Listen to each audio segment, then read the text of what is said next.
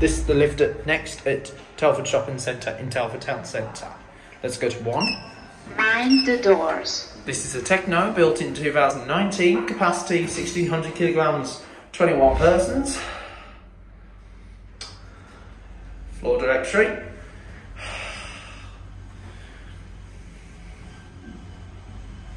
First floor. First floor, let's go back to ground floor, floor zero. Mind the doors.